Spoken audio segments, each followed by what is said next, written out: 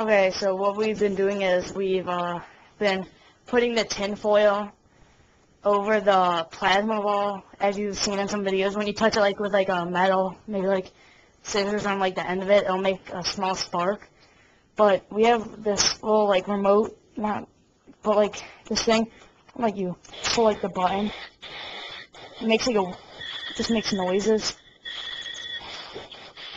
And uh, when you touch the plasma ball thing with the knife, it actually makes that thing go off. So, Nate, if you will. Feel professional. And when you hear it now, it, the the sound is kind of screwed up on it, so they must have done something to it. I guess supposed to be saying dive, dive, dive. There must be like some kind of like static electricity in like the air, so whenever you just like touch it, it turns on that thing. Well, that's pretty much all.